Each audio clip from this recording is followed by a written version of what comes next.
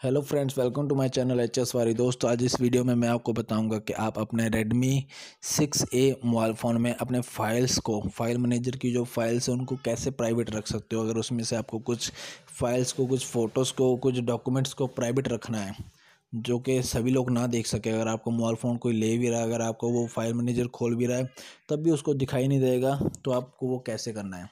तो चलिए मैं आपको दिखा देता हूँ कि आपको क्या करना होगा। मैं ये वीडियो रेडमी सिक्स से मोबाइल फ़ोन में बना रहा हूँ।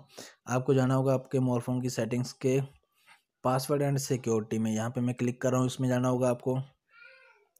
इसमें जाने के बाद दोस्तों आपको जाना होगा प्राइवेसी प्रोटेक्शन पासवर्ड में। यहाँ पे मैं ये क्लिक कर रहा हूँ, इसके ऊपर ऊपर प्राइवेसी प्रोटेक्शन पासवर्ड है। इसमें चले जाइए।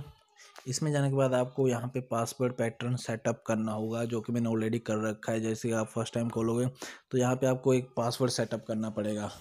आपको दो बार पासवर्ड एंटर करके अपना एक पासवर्ड क्रिएट करना पड़ेगा, बनाना पड़ेगा पासवर्ड तभी आपको ये ये वाला पेज मिलेगा जो मेरा अभी आपको, आपके सामने खुल के आ रहा है। इसमें आप देख सकते हो यहाँ पे फाइल्स करके लिखा रहा है सेकंड लास्ट ऑप्शन नीचे से दूसरी ऑप्शन है, यहाँ पे मैं क्लिक कर रहा हूँ फाइल्स इसको ओपन कर लीजिए। इसको ओपन करने के बाद दोस्तों आपको नीचे जो यूज़ लिखा आ रहा है, इसके ऊपर क्लिक करना है और तो आपका यहाँ पे ये आपका जो फ़ाइल मैनेजर है, वो खुल के आपके सामने आ जाएगा। तो यहाँ से आपको फाइल्स सेलेक्ट करना है। जो भी फाइल्स को आप हाइड करना चाहते हो, वो सिलेक्ट कर लीजिए और फिर बस बैक आ जाइए और उसके बाद आपको कुछ नहीं करना। लेकिन जब आपको वो जो आपने प्राइवेट कर लिए अपने फाइल्स उनको देखना है तो वो कैसे देखना होगा? आपको सिंपली जाना होगा अपने फ़ाइल मैनेजर्स में। जहाँ पे आपका फ़ाइल मैनेजर उसमें जाने के बाद आपको, आप देख तो यहाँ पे ये मैं क्लिक कर रहा हूँ, ये ब्लू कलर का एरो से ये हमें समझा रहे हैं कि आपको क्या करना होगा।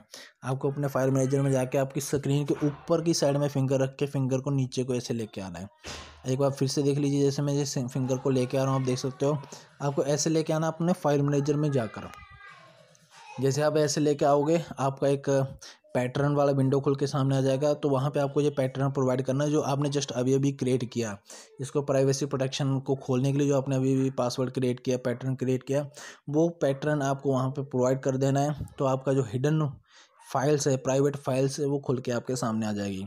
तो उम्मीद है दोस्तों, वीडियो अच्छा लगा होगा, अगर अच्छा लगे तो मेरे चैनल को सब्सक्राइब करें। धन्यवाद, जय हिंद।